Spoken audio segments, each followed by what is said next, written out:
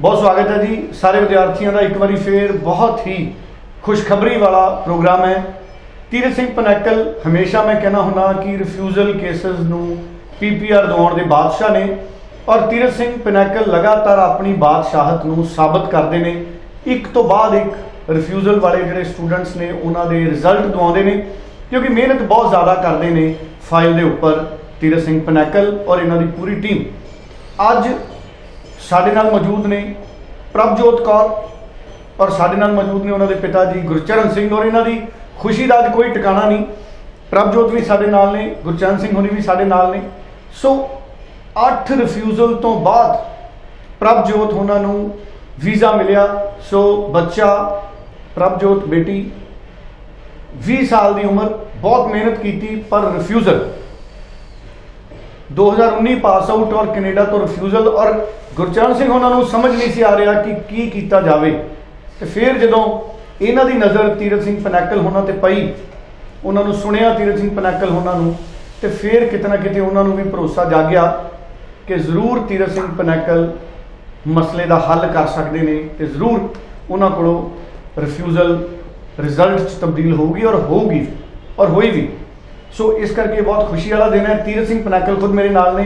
ਮੈਂ ਬਾਦਸ਼ਾਹ ਦੇ ਨਾਲ ਨਾਲ ਜਾਦੂਗਰ ਵੀ ਕਹੂੰਗਾ। ਤੀਰਥ ਜੀ, ਜਾਦੂ ਕਿਹੜਾ ਕਰਦੇ ਹੋ? ਪਹਿਲਾਂ ਇਹ ਦੱਸੋ। ਥੈਂਕ ਯੂ ਸਰ ਤੇ ਪਹਿਲਾਂ ਤਾਂ ਸਾਰੇ ਪ੍ਰੋਗਰਾਮ ਦੇਖਦੇ, ਸਾਰੇ ਦਰਸ਼ਕਾਂ ਨੂੰ ਸਤਿ ਸ਼੍ਰੀ ਅਕਾਲ ਜੀ। ਤੇ ਸਰ ਮੈਂ ਕਹਿ ਦਵਾਂ ਬਿਲਕੁਲ ਅਸੀਂ ਇੱਕ ਜ਼ਰੀਆ ਬਣਦੇ ਹਰ ਬੱਚੇ ਲਈ ਤੇ ਅੱਜ ਮੈਂ ਇਸੇ ਮੰਚ ਤੇ ਅੱਜ ਬੱਚੇ ਵੀ ਜਾਣਦੇ ਹੋਣੇ ਪਹਿਲੀ ਵਾਰੀ ਆ ਕਿ ਮੈਂ ਸਟੂਡੈਂਟ ਨੂੰ ਨਾਲ ਲੈ ਕੇ ਆਇਆ, ਕਿਉਂਕਿ ਮੈਂ ਤਾਂ ਲੈ ਕੇ ਆਇਆ, ਕਿਉਂਕਿ ਜਦੋਂ ਮੈਂ ਪ੍ਰਭਜੋ ਦੇ ਫਾਦਰ ਸਾਹਿਬ ਨੂੰ ਮਿਲਦਾ ਤੇ ਮੈਨੂੰ ਆਪਣੀ ਝਲਕ ਦੀਦੀ ਹੈ, ਕਿਉਂਕਿ ਮੈਂ ਹਰ ਲਾਈਵ ਸ਼ੋਅ 'ਚ ਜਿੱਥੇ ਵੀ ਮੈਨੂੰ ਮੌਕਾ ਮਿਲਦਾ, ਮੈਂ ਕਹਿੰਦਾ ਉਸ ਵਾਹਿਗੁਰੂ ਤੇ ਯਕੀਨ ਕਰੋ, ਹਮੇਸ਼ਾ ਮਿਹਨਤ ਕਰਦੇ ਰਹੋ ਤੇ ਕਦੇ ਵੀ ਡੋਲੋ ਨਾ।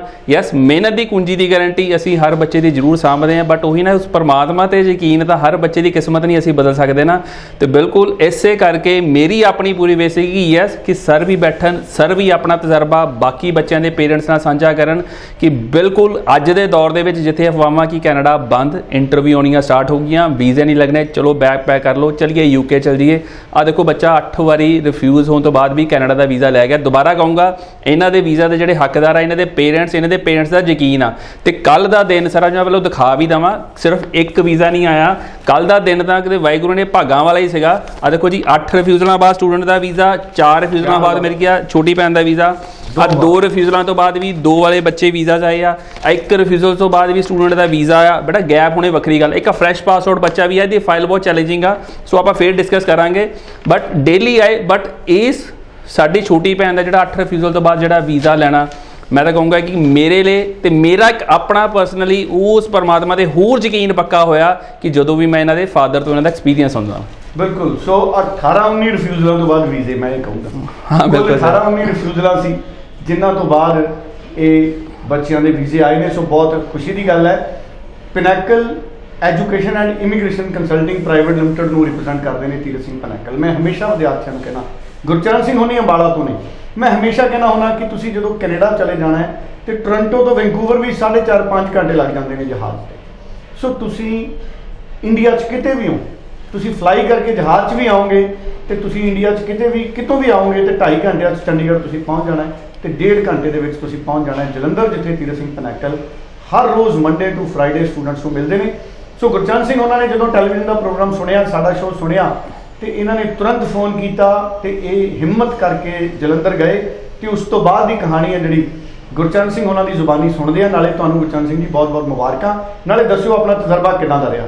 ਜਦ ਇਹਨਾਂ ਦਾ ਸ਼ੋਅ ਅਸੀਂ ਦੇਖਦੇ ਹਾਂ, ਸਭ ਤੋਂ ਪਹਿਲਾਂ ਤਾਂ ਇਹਨਾਂ ਦਾ ਇੱਕ ਹੀ ਮੂੰਹ ਚੋਂ ਲਫ਼ਜ਼ ਨਿਕਲਦਾ ਕਿ ਹਰ ਬੱਚੇ ਨੂੰ ਕਿ ਪਹਿਲੇ ਤੱਕ ਵਾਹਿਗੁਰੂ ਦਾ ਦਰ ਨਾ ਛੱਡੋ, ਵਿਸ਼ਵਾਸ ਨਾ ਛੱਡੋ। ਜਦੋਂ ਤੱਕ ਅਸੀਂ ਵਾਹਿਗੁਰੂ ਤੇ ਭਰੋਸਾ ਰੱਖਾਂਗੇ, ਸਾਡੇ ਕੰਮ ਸਿਰੇ ਲੱਗਣੇ ਹੀ ਲੱਗਣੇ ਆ।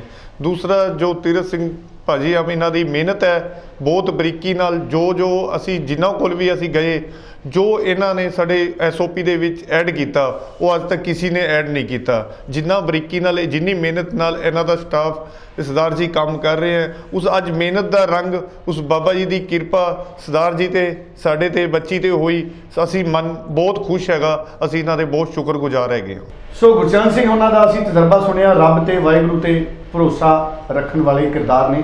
ਸੋ ਮੈਂ ਖੁਦ ਇਹਨਾਂ ਨੂੰ ਮਿਲ ਕੇ ਬਹੁਤ ਜ਼ਿਆਦਾ ਖੁਸ਼ੀ ਮਹਿਸੂਸ ਕੀਤੀ ਕਿ ਆਪਣੀ ਬੇਟੀ ਦੇ ਲਈ ਜਿੰਨੀ ਇਹਨਾਂ ਨੇ ਮਿਹਨਤ ਕੀਤੀ ਜਦੋਜਹਿਦ ਕੀਤੀ ਔਰ ਆਪਣੀ ਜ਼ਿੰਦਗੀ 'ਚ ਬਹੁਤ ਛੋਟੇ ਪੱਧਰ ਤੋਂ ਮਿਹਨਤ ਕੀਤੀ 12 ਸਾਲ ਦੀ ਉਮਰ ਦੇ ਵਿੱਚ ਹੀ ਕੰਮ ਕਰਨ ਲੱਗੇ ਸੀ।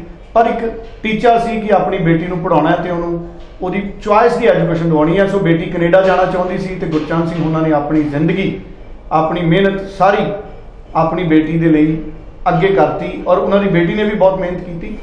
ਰਿਫਿਊਜ਼ਲ ਆਉਣਾ ਜਾਂ ਪਹਿਲੀ ਵਾਰ ਚ ਰਿਜ਼ਲਟ ਮਿਲ ਜਾਣਾ ਇਹ ਇੱਕ ਪ੍ਰੋਸੈਸ ਹੈ, ਕਈ ਵਾਰੀ ਰਿਫਿਊਜ਼ਲਸ ਆਉਂਦੇ ਨੇ, ਪਰ ਜਿਵੇਂ ਪ੍ਰਭਜੋਤ ਉਹਨਾਂ ਨੇ ਵੀ ਹੌਸਲਾ ਬਣਾ ਕੇ ਰੱਖਿਆ, ਸੋ ਸਾਡੀਆਂ ਸਾਰੀਆਂ ਬੱਚੀਆਂ, ਛੋਟੀਆਂ ਬੇਟੀਆਂ, ਉਹਨਾਂ ਨੇ ਹਿੰਮਤ ਨਹੀਂ ਹਾਰਨੀ, ਕਿਉਂਕਿ ਰੱਬ ਤੇ ਭਰੋਸਾ ਰੱਖ ਕੇ ਸੱਚਾਈ ਦੇ ਰਾਹ ਤੇ ਹਰ ਟੀਚਾ ਸਰ ਹੁੰਦਾ ਸੋ ਪ੍ਰਭਜੋਤ ਉਹਨਾਂ ਦੀ ਵੀ ਗੱਲ ਸੁਣਦੇ ਹਾਂ।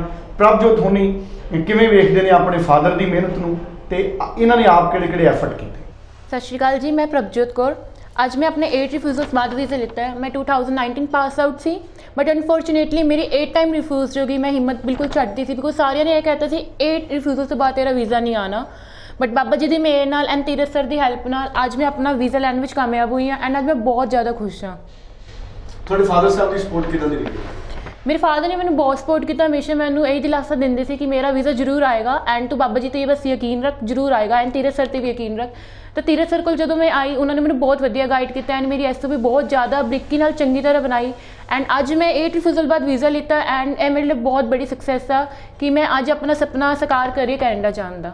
ਸੋ ਗੁਰਚਰਨ ਸਿੰਘ ਉਹਨਾਂ ਦੀ ਗੱਲ ਵੀ ਸੁਣੀ, ਬੇਟੀ ਪ੍ਰਭਜੋਤ ਕੌਰ ਦੀ ਗੱਲ ਵੀ ਸੁਣੀ। ਹੁਣ ਗੱਲ ਸੁਣਦੇ ਹਾਂ ਬਾਦਸ਼ਾਹ ਨੇ ਜਿਹੜੇ ਰਿਫਿਊਜ਼ਲ ਕੇਸਸ ਨੂੰ ਪੀਪੀਆਰ ਦਿਵਾਉਣ ਦੇ ਤੀਰਥ ਸਿੰਘ ਪਨੈਕਲ। ਤੀਰਥ ਜੀ, ਤੁਹਾਡਾ ਤਜਰਬਾ ਕਿਦਾਂ ਦਾ ਰਿਹਾ? ਗੁਰਚਰਨ ਸਿੰਘ ਉਹਨਾਂ ਨਾਲ ਔਰ ਬੱਚੀ ਪ੍ਰਭਜੋਤ ਕੌਰ ਦੇ ਨਾਲ। ਸਰ ਬਹੁਤ ਵਧੀਆ ਰਿਹਾ। ਸੋ ਜਿੱਦਾਂ ਦਾ ਹਰ ਬੱਚੇ ਨੂੰ ਪਤਾ ਹੀ ਹੈ ਕਿ ਹਰ ਪ੍ਰੋਫਾਈਲ ਨੂੰ ਅਸੀਂ ਐਂਟਰਟੇਨ ਨਹੀਂ ਤੇ ਮੈਂ ਬਿਲਕੁਲ ਸਟੂਡੈਂਟ ਨੂੰ ਕਹਿੰਦਾ ਕਿ ਸੱਚ ਸੁਣਨ ਦੀ ਹਿੰਮਤ ਸਾਡੇ ਤੋਂ ਜ਼ਰੂਰ ਰੱਖ ਕੇ ਆਓ।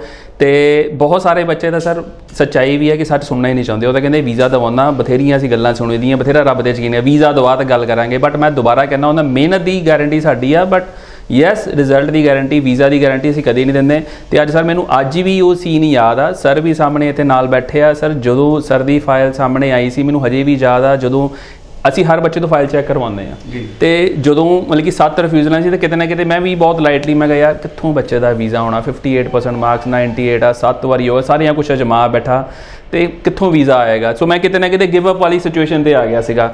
ਬਟ ਸਰ ਨੇ ਚਾਂਸ ਲੈਨੇ ਹੋ ਜਿਵੇਂ ਇੰਡੀਆ ਟੀਮ ਲੈਂਦੀ ਹੈ ਇੱਕ ਅੱਧਾ ਹਾਰ ਕੇ ਫੇਰ ਹੀ ਜਿੱਤਦੇ। ਨਹੀਂ ਬਟ ਸਰ ਨੇ ਮੈਨੂੰ ਕੋਈ ਸਰ ਸਾਡੀ ਕੋਈ ਡਿਸਕਸ਼ਨ ਹੋਈ ਜੋ ਸਰ ਨੇ ਹੋਈ ਤੇ ਸਰ ਮੈਂ ਕਿਹਾ ਜੀ ਆਮ ਮੈਨ ਮੈਂ ਕਿਹਾ ਤੁਸੀਂ ਚੱਲ ਜਾਓ ਫਾਈਲ ਮੇਰੇ ਕੋਲ ਆ। ਸਰ ਨੇ ਵੀ ਮੈਨੂੰ ਪੁੱਛਿਆ ਕਿ ਕੀ ਆ ਮੈਂ ਕਿਹਾ ਨਹੀਂ ਸਰ ਹੁਣ ਨਹੀਂ ਛੱਡੂੰਗਾ।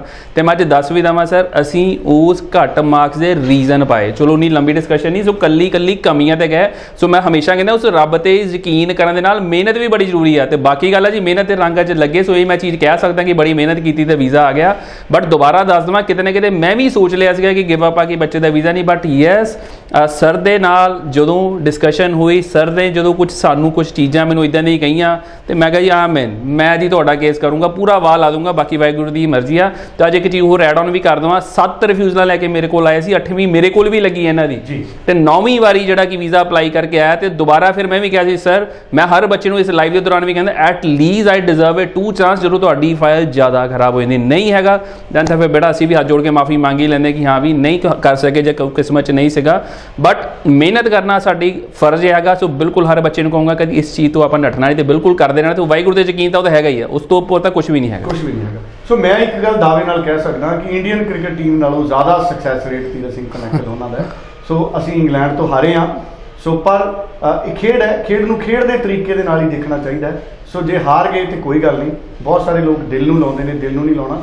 ਪ੍ਰਭਜੋਤ ਤੋਂ ਸਿੱਖਣਾ ਹੈ, ਗੁਰਚਰਨ ਸਿੰਘ ਉਹਨਾਂ ਤੋਂ ਸਿੱਖਣਾ ਹੈ ਕਿ ਕਿਵੇਂ ਇਹਨਾਂ ਨੇ ਜਦੋਜਹਿਦ ਕੀਤੀ ਤੇ 7 8 ਰਿਫਿਊਜ਼ਲ ਤੋਂ ਬਾਅਦ ਰਿਜ਼ਲਟ ਹਾਸਲ ਕੀਤਾ। ਤੀਰਥ ਜੀ, ਹੁਣ ਮੈਂ ਇਹ ਜਾਣਨਾ ਚਾਹੁੰਦਾ ਕਿ ਬਹੁਤ ਸਾਰੇ ਬੱਚੇ ਮੇਰੇ ਕੋਲੇ ਆ ਕੇ ਕਹਿੰਦੇ ਨੇ ਕਿ ਤੀਰਥ ਜੀ, ਸਾਡੀ ਫਾਈਲ ਨਹੀਂ ਲੈਂਦੇ। ਉਹ ਬੱਚੇ ਕਿਹੜੇ ਨੇ ਜਿਨ੍ਹਾਂ ਨੂੰ ਤੁਸੀਂ ਮੋੜ ਦਿੰਦੇ ਹੋ? Sir file? ਮੈਨੂੰ ਨਾ ਅੱਜ ਵੀ ਯਾਦ ਹੈ ਮੇਰਾ ਤਾਂ ਮੈਂ ਸੋਚਾਂ ਕਿ ਚਲੋ ਸਾਰਿਆਂ ਦੀ ਵਾਹਿਗੁਰੂ ਇੱਦਾਂ ਹੀ ਕਿਰਪਾ ਬਣਾਈ ਰੱਖਿਆ ਸਰ ਦੋ ਦਿਨ ਪੁਰਾਣੀ ਵੀ ਗੱਲ ਆ ਕਿ ਸਟੂਡੈਂਟਸ ਦੇ ਪੇਰੈਂਟਸ ਬਹੁਤ ਜ਼ਿਆਦਾ ਕਨਵਿੰਸ ਸਾਡੇ ਨਾਲ ਜੁੜਦੇ ਲਾਈਵ ਸ਼ੋਅ ਦੇ ਦੌਰਾਨ।